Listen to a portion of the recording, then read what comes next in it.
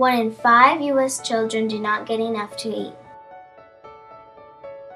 20% of the children living in Crescent City under the age of five live in poverty.